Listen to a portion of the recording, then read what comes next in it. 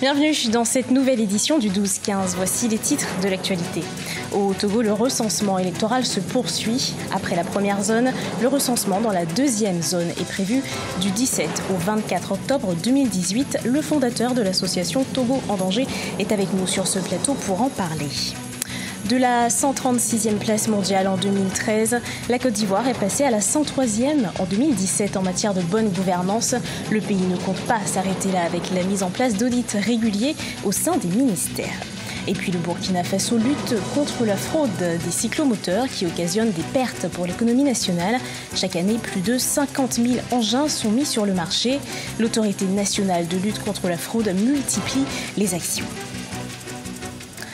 17, c'est le nombre de recours déposés pour irrégularité au Cameroun par des candidats à l'élection présidentielle du dimanche 7 octobre. Ces candidats demandent l'annulation totale ou partielle du scrutin. L'examen de ces recours doit être effectué avant la proclamation des résultats attendus pour le 22 octobre au plus tard. Au Togo, fin du recensement dans la zone 1 pour la constitution de nouveaux fichiers électoraux. Le recensement dans la deuxième zone est prévu du 17 au 24 octobre 2018. Cette zone comprend 18 commissions électorales locales indépendantes. Les précisions d'Emmy Fakofi. Le Togo se prépare pour les législatives du 20 décembre 2018. Après des cas de double inscription évoqués sur les listes électorales dans la première zone et publiés sur les réseaux sociaux, la Commission électorale nationale indépendante tient à rassurer. Elle rappelle les dispositions prévues par le Code électoral. Le Code électoral prévoit, notamment à son article la suppression des doublons éventuels, de sorte que chaque électeur dispose d'une voix et d'une seule. En son article 12, le Code électoral togolais prévoit un emprisonnement d'un mois à un an et une amende de 50 000 à 100 000 francs CFA contre toute personne qui se fait inscrire frauduleusement sur plus d'une liste électorale. Le recensement dans la deuxième zone est prévu du 17 au 24 octobre 2018. 18 commissions électorales locales indépendantes sont concernées. Il s'agit des compatriotes relevant des CELI ci-après. Amou, Ogu Anier, Wawa Kebu, Blita, Chamba, Tchaoudjo, Soutouamo, Asoli, Bassar, Bina, Dankpen, Doufelgou, Kéran, Koza, Penjal, Penjal Ouest, Oti, Oti Sud, Tanjouar et Tone 50C. Ce point de presse s'est déroulé en présence des experts électoraux de la Commission économique des États d'Afrique de l'Ouest.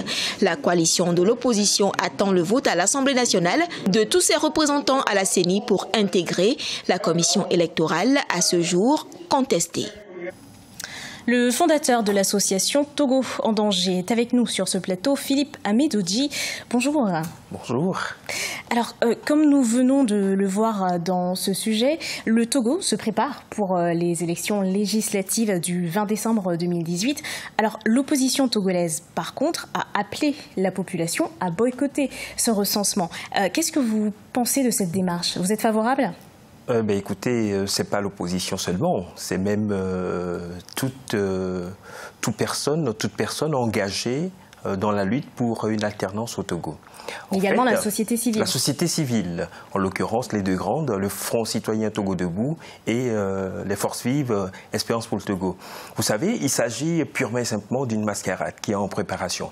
On l'a souvent vu au Togo, euh, dans la précipitation, on demande aux gens de, s'enrôler, puis après il y a des doublons, puis au dernier moment on dit ben, c'est trop tard, il faut y aller, puis, puis après on va, on va continuer. Vous savez, moi, ça, le gros problème que ça me pose également, c'est que là, les Togolais vivant sur le territoire national sont en train d'être recensés.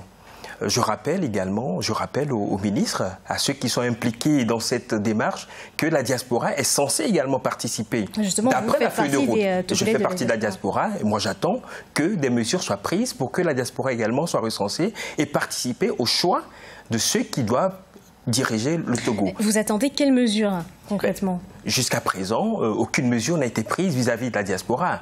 Et je rappelle, le gouvernement l'a rappelé à plusieurs reprises, dans la feuille de route de la, de, la CDAO, il est bien prévu que la diaspora soit impliquée, soit euh, concernée également euh, dans le cadre des élections. Et si on n'est pas recensé, comment est-ce qu'on pourrait euh, participer aux élections? Donc moi je repose la question de la validité du, recensement? du recensement qui est en cours actuellement. Euh, justement, par rapport à cette validité, le code électoral réprime euh, toute fraude, d'un an d'emprisonnement et d'une amende précisément pouvant aller jusqu'à 100 000 francs CFA.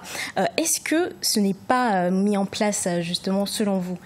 Mais écoutez, lorsque la fraude est organisée au sommet de l'État, euh, je, ne sais pas pourquoi l'État sanctionnerait ce qu'il a permis euh, lui-même, ce qu'il a organisé lui-même. Vous savez, on a eu des, échos dans certaines régions, en l'occurrence à, à Palimé, région dans laquelle, région des plateaux, dans laquelle, région qui est considérée comme l'un des fiefs du régime en place, c'est par camion que des militaires ont euh, amener des gens pour se faire recenser. D'où viennent-ils Alors, déjà, on est en face d'un problème d'enrôlement des gens qui ne devraient pas se trouver sur la liste. Il y aurait quel type de fraude, alors, selon vous, euh, au niveau du recensement? Il y a déjà la fraude à la liste électorale, c'est-à-dire on gonfle on gonfle à l'infini la liste électorale pour faire en sorte de justifier des électeurs, sont des électeurs fictifs en fait. Et on l'a vu, euh, malheureusement, au Togo, on est dans, dans, des situations où les électeurs, in fine, sont beaucoup plus nombreux que la taille de la population dans la, dans la circonscription électorale. Dans quel C'est ce que vous euh, revendiquez. Tout à fait. Alors on demande que les choses soient faites, soient, soient faites de façon la plus correcte. Vous savez, on l'a dit tout à l'heure dans, dans, dans, le reportage, euh, la C14, c'est-à-dire la coalition des 14 partis d'opposition, ne sont pas représentés à la CENI. Donc ça permet à une CENI unilatérale, une CENI qui contestait, d'organiser... Donc vous euh, demandez une meilleure... Une recomposition, un équilibrage, une CENI équilibrée et paritaire. D'accord. Merci euh, beaucoup Philippe Amédodi. La Côte d'Ivoire se dirige vers une réforme des finances publiques. Des audits réguliers auront lieu au sein des ministères du pays. Une requête de l'Union économique et monétaire ouest-africaine. Reportage de notre correspondant Oliva Jacotan. En Côte d'Ivoire, l'inspection générale d'État invite les inspecteurs généraux et des finances des différents ministères à produire désormais tous les deux mois un rapport d'activité. Des outils périodiques euh, obligatoires pour se conformer à une directive communautaire de l'Union économique et monétaire ouest-africaine UEMOA visant la transparence dans la gestion des finances publiques. On a arrêté des textes. Il faudra que nous sensibilisons les différents acteurs de contrôle Hein, à la mise en œuvre de ces textes. Peut-être même que euh, tout le monde ne les connaît pas parfaitement. Euh, et, ceux qui connaissent, comment nous allons ensemble mettre en œuvre ces textes? De la 136e place mondiale en 2013, la Côte d'Ivoire est passée à la 103e en 2017 en matière de bonne gouvernance. Mais les acteurs réclament encore plus de moyens techniques et financiers pour une efficacité sur le terrain. Il faudrait donner les moyens aux structures qui garantissent la bonne gouvernance ou qui font la promotion de la bonne gouvernance. Il faut leur donner les moyens de leur action et faire en sorte que ces, structures soient les plus performantes possibles. En rappel, l'inspection générale d'État produit annuellement un rapport sur la bonne gouvernance dans le pays et désormais elle compte produire chaque trimestre un rapport dans ce sens pour l'assainissement des finances publiques. Au Burkina Faso, le marché des vélos et cyclomoteurs se retrouve confronté à une fraude massive, une fraude qui entraîne des pertes pour l'économie du pays. Pour endiguer le phénomène, l'autorité nationale de lutte contre la fraude multiplie les actions. Chez Komar Bandago. Le Burkina Faso, depuis la floraison d'entreprises de montage de motos et motocyclettes, connaît un secteur industriel en pleine croissance. Un secteur dont la concurrence dans l'activité fragilise aussi le tissu économique du fait de l'entrée quotidienne et frauduleuse sur le territoire de plusieurs centaines d'engins. Face au phénomène, l'État, depuis quelque temps, fait dans la sensibilisation des importateurs. Les taxes afférentes à l'importation des dix produits sont éditées ce qui constitue un manque à gagner pour l'État et limite ses capacités à financer des projets de développement comme les infrastructures et à créer des emplois pour les populations en majorité jeunes et sans emploi.